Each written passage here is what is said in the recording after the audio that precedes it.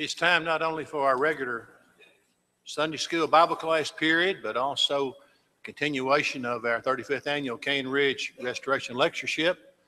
And we combine those, of course, with everybody from the fifth grade up this morning. We're looking forward to hearing Brother Eddie Kraft, whom I'll introduce in just a moment. We'll have a uh, song and a prayer. David will lead us in a song, and Brother Bill Corman will lead us in prayer, and then Eddie will speak to us. Eddie is fairly well known to most of us. He's been associated, known people in this congregation since uh, even before I was here. So you, many of you know him well. He spoke last night in a wonderful way. We're looking forward to him here this morning in Bible class. Eddie is from Tennessee. We love him anyway. Uh, he he has the courtesy not to wear orange while he is here, and we respect that in a in a big way.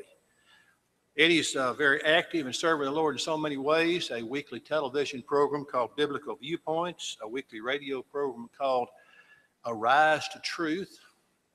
We have a special uh, tie because he was for 25 years, that right, the preacher to Elizabethton, Tennessee, where uh, Josh and Megan, my son, daughter-in-law, grandchildren attend. And he did a good job of uh, helping to, to nurture a wonderful congregation there where they're very happy and, and serving the Lord. And we check in with each other from time to time. And we, we appreciate the work he does in congregational preaching. Right now, he's full-time with the Tri-City School of Preaching and Christian Development, full-time instructor and co-director of that school training young men both in spiritual growth and particularly to preach the gospel. We look forward to hearing Brother Eddie as he continues our theme this uh, Cane Ridge lectureship of Stand Fast. He's going to talk to us about stand fast in the truth in just a moment. David.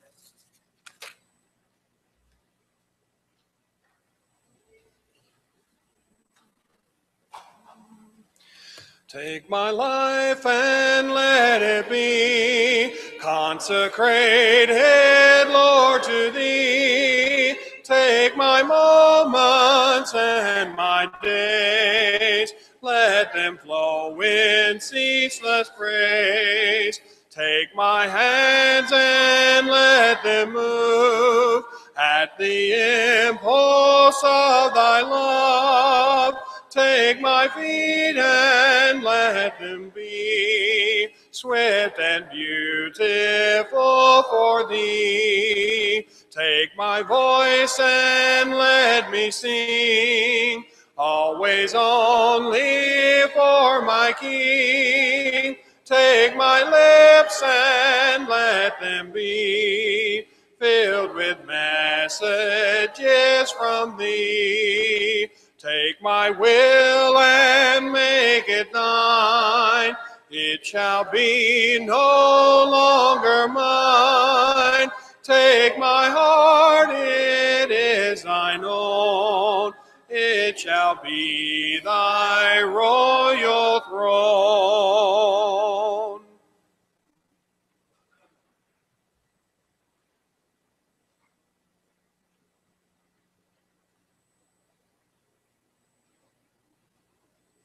Pray with me.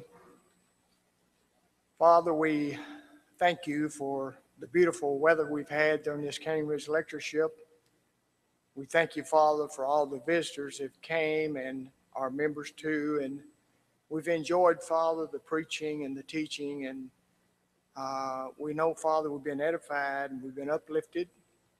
Uh, we pray, Father, that this will cause us to want to have a closer and walk with Thee and to have a greater love for souls and the salvation of others.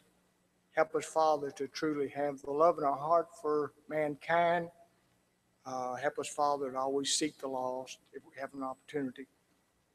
We pray, Father, you be with the speakers, uh, be with Eddie this morning, and I pray, Father, he can say the words that we need to hear, Father, that will uh, enlighten us to a better knowledge and uh, to know more about, Father, about your will and your word and to look at things in a different perspective. Uh, we pray, Father, that uh, these visitors that have come our way will have safe journeys today back home and uh, have good health, Father. And we pray that this church, Father, can grow in spirit and truth and number. Uh, we can be a light, sit up on the hill, Father, for others to see. May we uh, always know what it is to be a servant, Father, to you first and mankind second.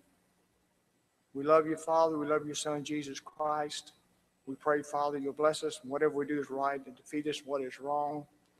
Help us, Father, to stand up against others, Father, that do wrong and tell them they're wrong and and always stand for what's right, Father, and fight for what's right. Uh, you sent your Son, Jesus Christ. He gave his life for us, Father. We should give what we can in the fight for righteousness and to fulfill, Father, the good things in this world. And hopefully, Christians, Father, can stand up, unite to be a closer knit, uh, to fight Satan as he approaches us, Father, from every front. We pray, Father, our politicians can be men, Father, that are man, uh, God loving, God serving people, and that we can uh, turn, Father, back to the truth and uh, have a great revival, Father. Bless us during the rest of this day, Father, and as we go out to the Cane Ridge Meeting House, we pray, Father, that uh, we can have memories, Father, of what those who went before us and done, and to uh, maybe sharing some of the things that they felt when they were there many, many years ago. Uh, we pray, Father, that uh, we can always be light in a world of darkness. In Christ's name we ask it be thy will. Amen.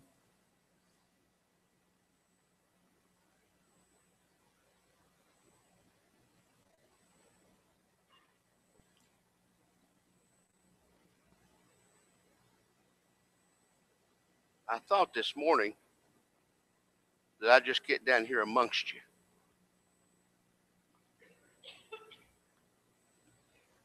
You look a lot different close up. I told uh, the congregation in Elizabethton one time they were a good looking audience. And I also then expressed how it's easier to preach to a good looking audience than an ugly one. And of course, there's one in every crowd, and one of the ladies came out and said, You ought to be where we were looking that direction. So I tried to be a little more cautious. Man, it's great to be here. I appreciate this congregation, the good eldership, each member, the work you do, the youth that you have here, and we appreciate you so much. I bring you greetings from the Tri City School of Preaching and Christian Development. Got five new students coming in. Our students are doing well. We now have them in a number of states.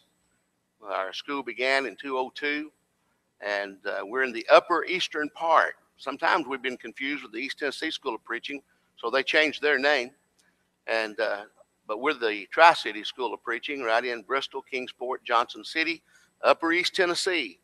If you go any further than where we are, you're in Carolina, or you're in Virginia, or you're in Kentucky. And so we're right on the line. It's a beautiful area. And if you're interested, come and look our school over sometime. We would be happy to have you. I appreciate Logan being with me. Logan is our oldest grandson. When grandma can't travel with me, she sends him. And so she tries to send him often so that he can kind of keep me uh, in the right direction. But uh, appreciate Logan's willingness to do that. Logan's brother, Dylan, will be starting our school, and we look forward to that. And if you're interested in preaching the gospel, let us know. We'd be happy to come talk with you, come down and look the school over, and uh, we would be glad to have you come and be with us at any opportunity that you have. As any school, we're always needing students and finances, so if you can help any student or do anything in those areas, uh, be sure to keep that in mind, but especially through your prayers and work that you do. This is a tremendous lectureship. The Cane Ridge lectureship. And you cannot think about Cane Ridge and the restoration movement without thinking about the awesome price that was paid that we could have this kind of liberty and this kind of freedom. And we appreciate the men that have preceded us. They observe that there's a lot of things wrong in their religious world. They claimed to believe in the same God, but they did not believe the same ideology. They did not have the same doctrinal views. And they said something must be wrong. And they began to go back to the Bible. And found interesting, they found it interesting that they recognized that there are other folk in other areas that feel the very same way that we feel. And so they began to join forces. I was in a location in Tompkinsville, Kentucky, not long ago, and we went out to the old Mulkey meeting house where John Mulkey and others pulled away from denominational era. And on that one occasion, about 100 people to 150 realized something's wrong, but the Bible is right. And they decided that they were going to follow New Testament Christianity, and that's what they did. And it was wonderful to go by the old Mulkey meeting house. It was exciting to go by the graveside where John is buried and to observe the restoration history that existed there. And so these men realized the value of truth. Our topic this morning is to stand fast in the truth, Galatians 5 7 to 10. And we'll read those verses in just a moment. As we did last evening, we're going to do a textual discussion. We'll explain the importance of truth in achieving and maintaining Christian faithfulness. Secondly, the practical applications will explore practical ways for standing fast in the truth that promotes Christian maturity. We will notice some of those things that's described in Galatians 5:25 as living or walking in the spirit. And the textual discussion will explain the value and the importance of truth in achieving and maintaining this Christian faithfulness. Now let's notice together the text. You did run well. Who did hinder you that you, now watch it, should not obey the truth? Obey the truth. Someone hindered them that they should not obey the truth. Now, there's one or two sides to this coin there's error and there's truth. Now, you flip the coin. You decide whether you want to follow that which is truth or that which is error. And we'll set forth as to show you the evidence is very clear that if you wish to, you may know the truth. Truth is not something that God hid away from mankind, but is something He revealed to us. He's on our side. He wants us to know the truth. And so someone was hindering them that you should not obey the truth. He says, This persuasion did not come from him that called you. And then he made the observation that a little leaven leaveneth the whole lump. That is, if you're being removed from him that called you into the grace of Christ, if it is the case that you have become foolish because you're no longer following the truth, then it's not going to be long till others will become like you are. A little leaven leaveneth the whole lump. We've been told, and it's true, one untaught generation leads the church of Christ into apostasy. Now, that says a tremendous thing. And it is this that we should stand for the truth. We should study the truth and know it. Listen, if you take your New Testament and if you'll read nine chapters out of it every day, you can read your New Testament once a month for the rest of your life. Nine chapters. Remember, I'd already begun to do this. About a year ago, I started doing that because I wanted to read the New Testament through once a month the rest of my life. And Jeff Archie got on the internet on his Facebook and he said, I would like to offer a challenge to all that's on the Facebook to read nine chapters of your New Testament every day. And then he pointed out that you would read the New Testament through once a month. You actually be a little ahead of that. But if you do that, you're going to richly be blessed from it. And then you can throw in a few Old Testament passages along the way as well. But read your New Testament. If you don't read it, you're not going to know it. Now, there's more involved than just reading your Bible. We know that, but you certainly can't know it if you don't read it. So read your Bible. Do not allow a day to go by that you do not read your New Testament or your Bible and read it carefully. And so he says, a little leaven leaveneth the whole lump. And so if you don't read your Bible, then that will encourage others not to read their Bible. Moms and dads, when our children and grandchildren see us reading our Bibles and praying together and studying the Word of God, this motivates them to want to do the same thing. Some children will tell you rather quickly, I've never seen mom and dad pray. Never saw mom and dad read the Bible. Never saw mom or dad attend the services of the Lord's church. Doesn't get any sadder or bleak than this. We need to read our Bibles. We need to study our scriptures so that we can know them and so that we can have an impact in our society and in particular in our families. And so we need to see to it the Word of God is taught. Now he goes on. He says a little leaven, leaveneth the whole lump.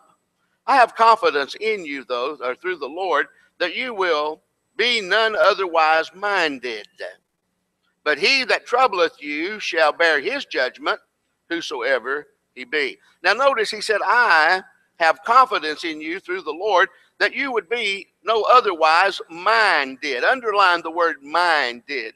The word minded means you're going to be of a sound mind. Now, the Bible says that the Word of God is the seed of the kingdom, Luke 8, verse 11. If the Word of God is the seed of the kingdom, then the Word of God is designed to be planted. It is to be planted in the heart. Now, the heart is the mind, not the blood pump. I was preaching one time and I said, we need to understand Satan wants to take the Word out of our hearts. And a little child punched his mom and said he don't know the difference between his head and his heart. Well, that gave her an opportunity to point out this is the heart. This is the Bible heart, the mind, the intellect of man, not the blood pump. Our blood pump will cease to pump one of these days and we're going to die. That's what happens. But we're going to be alive spiritually somewhere. We're still living just in a different situation. Body separated from spirit, but the spirit returns to God who gave it, and therefore we still will be living in eternity. And so, listen, the Word of God is planted in the heart. This is a battle of the mind. This morning, you have a good heart or a bad heart. And therefore, a good heart and an honest heart are a heart that's not good and honest. And Paul was of a sound mind, thinking that these folks would be minded. They would be of no other mindset. They would have their mind upon the Word of God. The Word of God would be in their mind, in their hearts, would be guiding them and governing their every move. Now, listen John 8 31 and 32. Jesus said, If you continue in my word, then are you my disciples indeed, and you shall know. Look at that. You shall know the truth, and the truth shall make you free. Jesus didn't say, If you continue in my word, then are you my disciples. You shall assume the truth, and that assumption shall make you free. He said, You can know the truth. Now, I know that there are those today that do not believe that you can know anything. Well, I certainly don't want them trying to tell me anything, do you?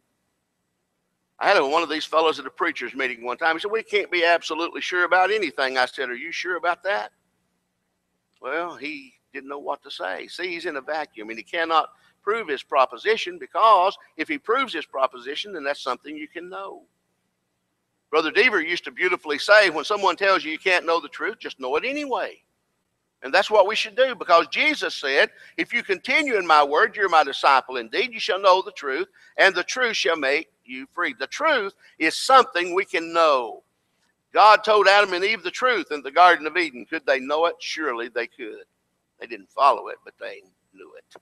And from that time on, God has given us His Word.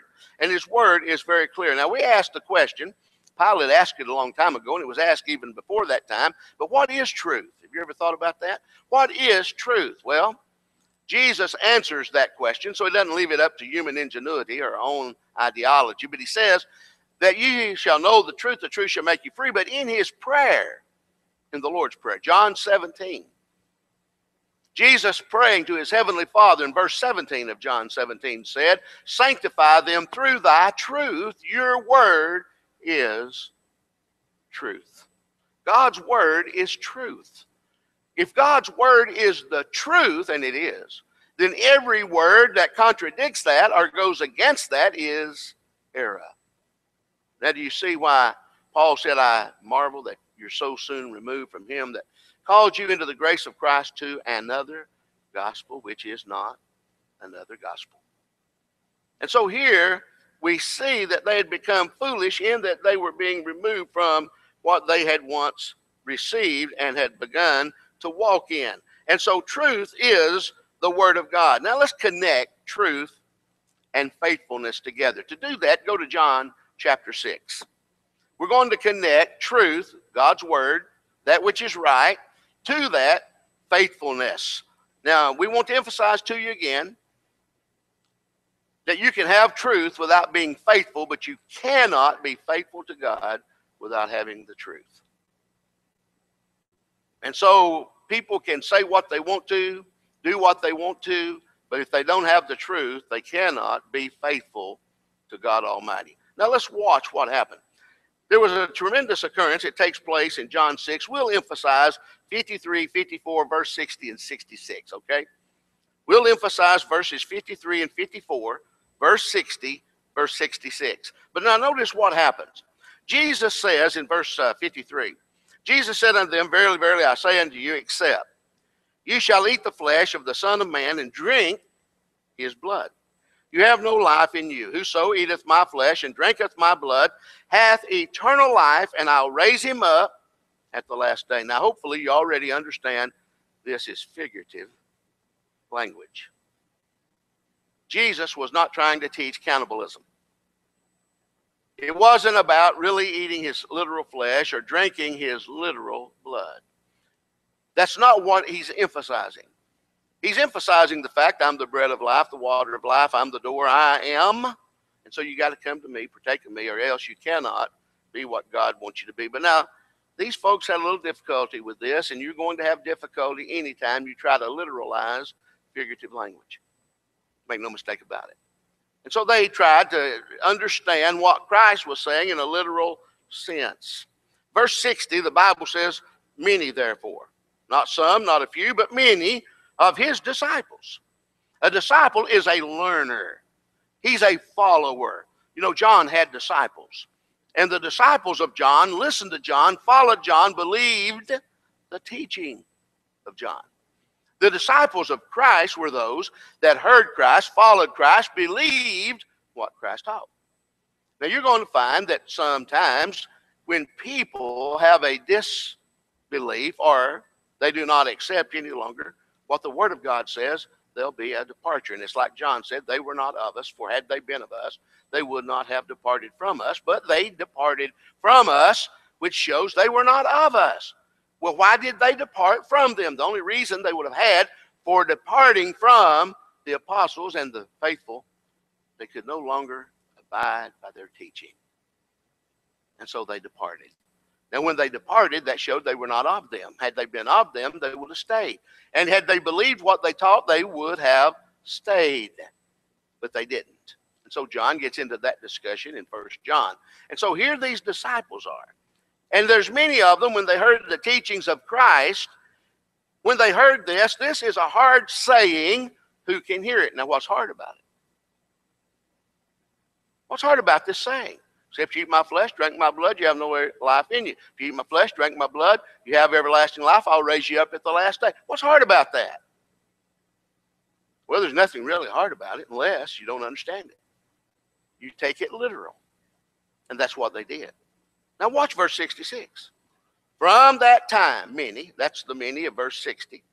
From that time, many of his disciples went back and walked with him no more. No more. They refused to walk with him. You see what happened here? They had the Word of God, they believed the Word of God, they were disciples of Christ, and they followed Christ, but when they disagreed with something Christ taught, they departed to walk with him no more. They had the truth, they were faithful to God, they no longer believed the truth, and they departed from God. There is your connection between truth and faithfulness.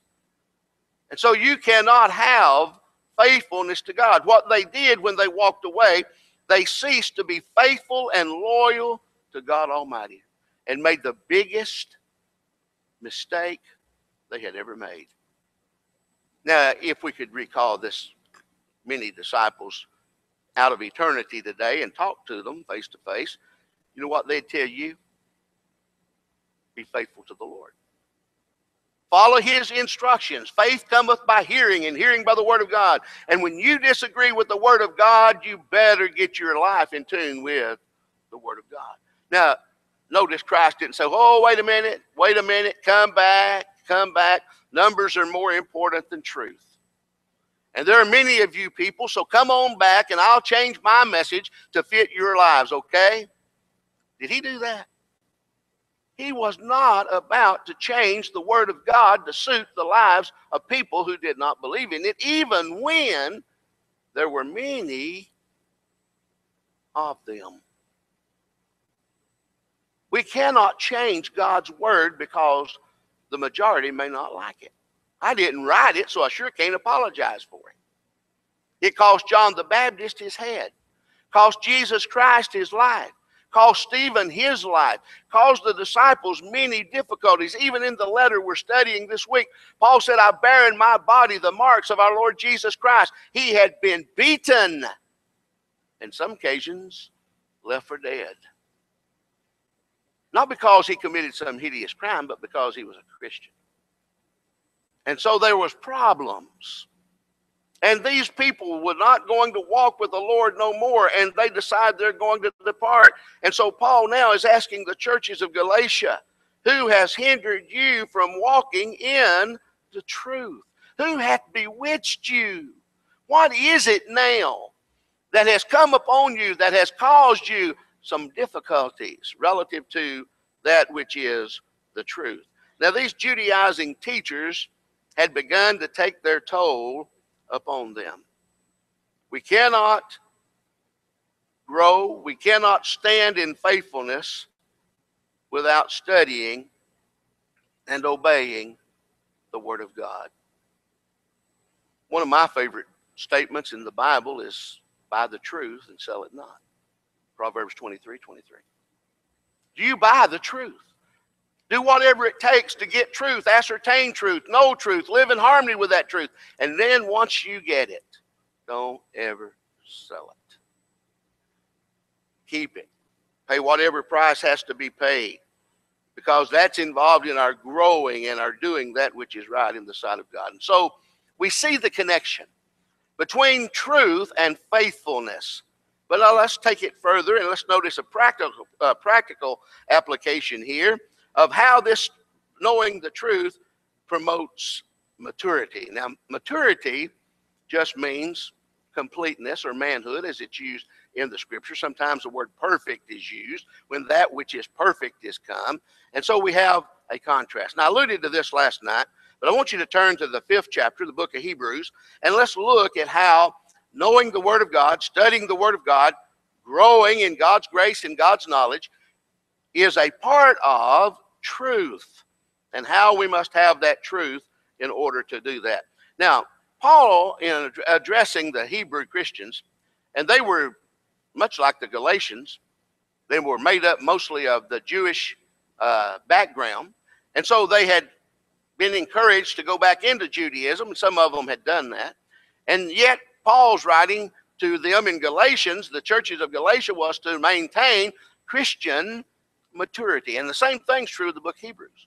Book of Hebrews is written to say, look, why would you turn back now? The best is yet to come. And to hold out to them what the old covenant said about the new covenant and how that it emphasizes from its own teaching that they were trying to go back to that the New Testament is better. Better priesthood. Better covenant. Better ethical system. Better everything because Jesus Christ was the fulfillment and culmination of the old. And so here is a beautiful thing that is set forth. Now, watch the Hebrew writer, though, in verse 12 of the fifth chapter. For when the time you ought to be teachers, you have need that one teach you again. Notice the word teach. You teach that which can be known. Well, there was a time when the Hebrew Christians should have been teachers. You ever know anyone like that? Should have been a teacher, but wasn't a teacher, and couldn't be a teacher because they had not studied. You can't teach without studying. And so they needed to be teachers. Now watch. But you had need that one teach you again. Well, that's bad enough. But notice the first principles of the oracles of God. That is, you had to be taught your ABCs all over again. You should have known these simple rudiments, fundamentals, and you didn't. Now, let me tell you something, folks. N.B. Hardeman was right on the money many years ago when he said, Don't ever underestimate the ignorance of your audience. Now, he didn't say that in meaning, in a bad meaning way. He was just saying, Don't assume your audience knows something because they may not. And we found out real quickly in teaching in the Tri City School of Preaching, you don't assume those students know anything. now, some of them are very brilliant, but some of them don't know the books of the Bible. Some of them do not know that Ruth is one of the books of the Bible. And so we get some very elementary folk sometimes relative to scriptures. Now, some of these kids have been brought up in the church for a long time. I asked one student one day, what chapter in the book of Acts do we read about the establishment of the Lord's church? And he had no idea. It was a preacher's kid, but now it wasn't he, so I'll tell you that, and Cheryl's. They knew. So I'll race that off right quickly, okay? of course, they knew that before they sent them. One day I had to fill in uh, for Wesley, and some of them in English. Cheryl happened to call Adam that day, and Adam said, You'll never guess what's going on. And Cheryl said, What's that? Said Eddie Kraft is teaching English. And Cheryl said, Don't believe to a thing he says. but don't underestimate the ignorance of your audience. And elders, preachers, listen. We need to make sure that our young folk and our congregations are taught the fundamentals. They need to be taught the fundamentals. They need to know the books of the Bible, the Kings, the Judges, and all those good things. They need to be putting them in their memory bank, and it's probably easier to do that when you're young than when you get my age. And so you need to study. You need to get the first principle. The foundation is important. And if the foundation is correct, the building will stand. So we got to get this right. And so he says you need to be taught again the first principles of the oracles of God, and are become such as have need of milk, not of strong meat. For everyone that useth milk is unskillful in the word of righteousness. He is a babe. But strong meat belongeth to them that are of full age. That is, they are mature, they're full grown. Even those who, by reason of use, use, reason, reason, using the reasoning process, using the mind, studying the word, reason of use, have their senses exercised to discern between the good and the evil. Now, why is it the case that in our generation, it seems like the good is called evil and the evil is called good? Why is it the case that we cannot distinguish? Why does it just shake you sometimes when you see uh, someone on TV promoting error and people acting as if, oh, that's wonderful? How can we sit by? In the Lord's church and abortion is bad enough, but then see those little babies cut up and their body parts sold and it not appall us at our very being. Why are people not put in jail? I can do a lot less than that and get locked up today. And someone comes up and says, Look, these people are killing babies and selling their body parts, and they say we better investigate the people that took the videos. When are we going to investigate the people that are doing it? But I say that to say this, ladies and gentlemen, we're living in a time where people have not used their senses. They've not exercised them, and they're not able to discern between the good and the evil. And so it's left wide open. Do whatever you want to do. There's no right or wrong anymore. You just do whatever you want to do, and it'll be okay. And all of that stuff sometimes comes out of the evolutionary theory, but that's another sermon for another time. But the problem here we see is the reason the Christians in the first century had not developed to where they needed to be was they were not using and exercising their minds. That was the problem, the whole problem. And it's our problem today. We've got out of studying the Bible, doing what the Bible says, making sure we know the Word of God says this, and we've gone along with what I used to be involved in when I was growing up, all about feelings and the hoopla of the moment and entertainment.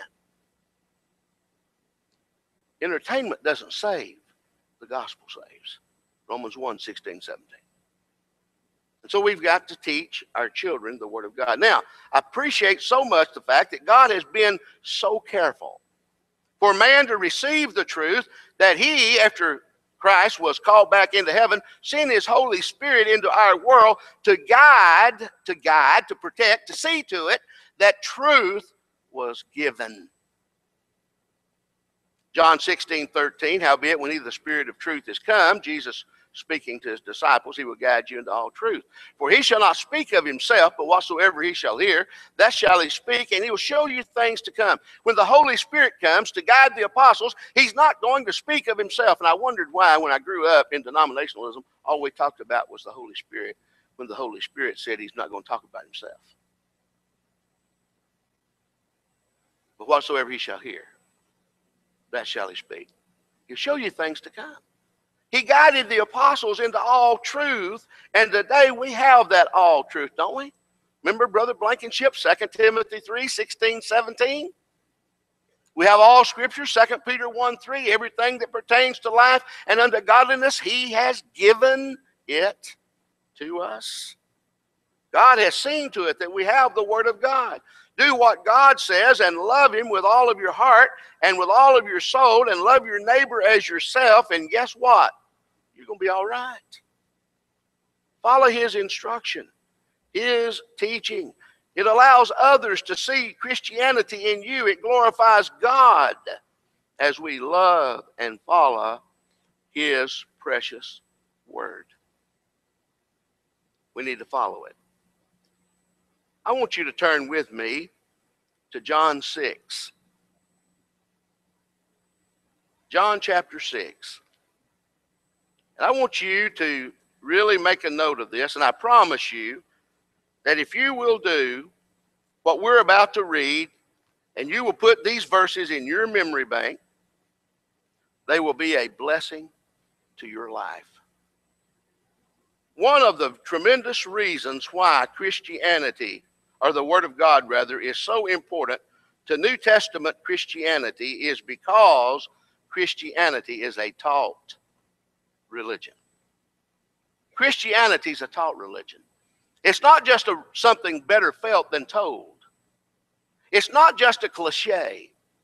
It's not just a name. You know, we've taken the name Christian, it means nothing anymore. We're talking about a Christian nation, a Christian this, and a Christian that. We don't understand how the Bible uses the term because it's been so abused. But when we think about New Testament Christianity and the significance and the value of it, then we got to make a very important understanding relative to it. Now I want you to look verses 44 and 45. There'll be no verses in the Bible that'll be more valuable to you and more important than these. Jesus said unto them, Verily, verily, I say unto you, except. Now, underline the word except. There are many exceptive clauses in your Bible. You remember Jesus used one of them, didn't he, in his discussion with Nicodemus? Except a man be born again, he cannot enter the kingdom. Now, what does that mean? When you have an exceptive clause, if you remove the exception, to understand it, you have Jesus saying no man can enter the kingdom. If there's not an exception to that, you can't get there. When Jesus says to these people, except, then you mark it down. Without the exception, whatever he's about to say can't be done. Jesus said, if a man puts away his mate and marries another, he commits adultery. Except it be for fornication. Now, we understand the exceptive clause in our everyday life, I hope. Maybe you drive up to a parking spot and it says no parking except handicapped. Does that mean that no one can park there? Well, no one but the handicapped. Or you might see a sign as you drive up to a university no parking except faculty. You have any trouble understanding that you can't park there unless you're a part of the faculty? Was that the first bill? I better hurry. Five minutes. There's no way.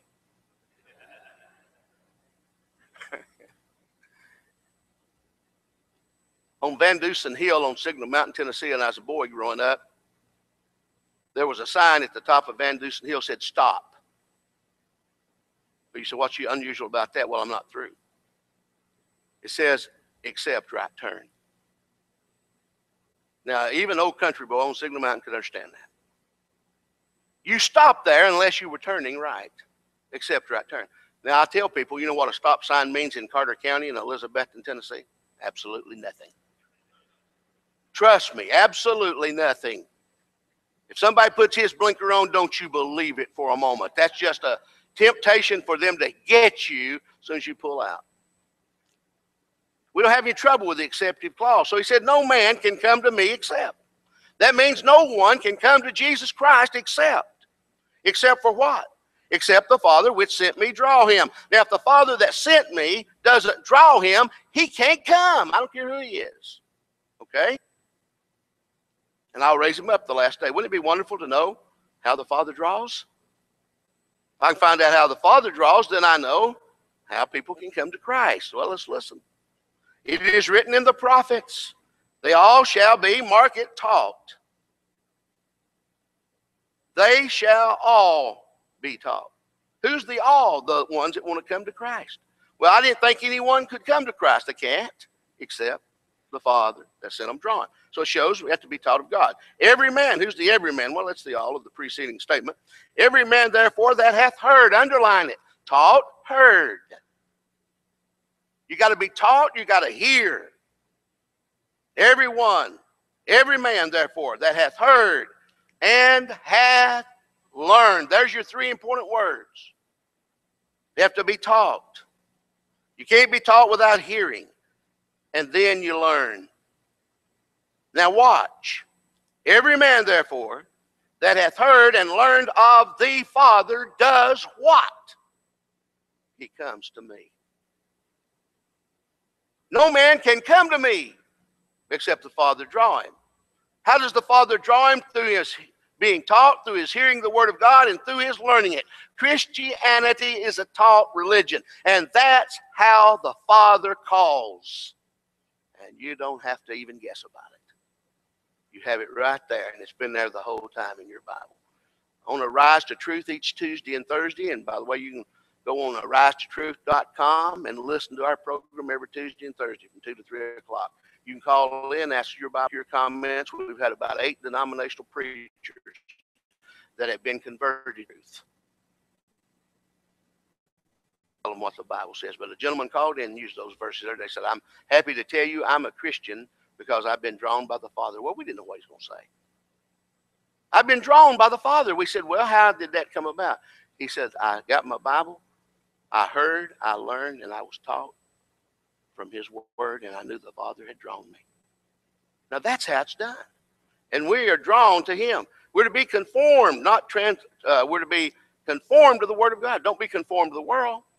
Be transformed it, but be conformed to the gospel. Let it change your lives. And do not be deceived. Second Thessalonians 2.10.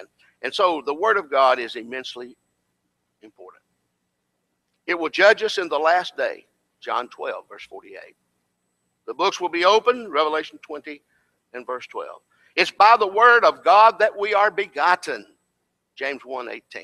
It's by the word of God that we are born again, 1 Peter 1 22 and 23. The judgment of God will be according to truth, Romans 2 2. And so when you put all of this together, and tons of other stuff, of course, it's obviously clear the Lord has provided the truth for us but it's up to us to go get it. It's up to us to learn it, to study it, to love it, to live it, so that we can be what God would have us to be. You've been such a great audience this morning, and we appreciate your presence, and we'll continue in a moment in our worship assembly.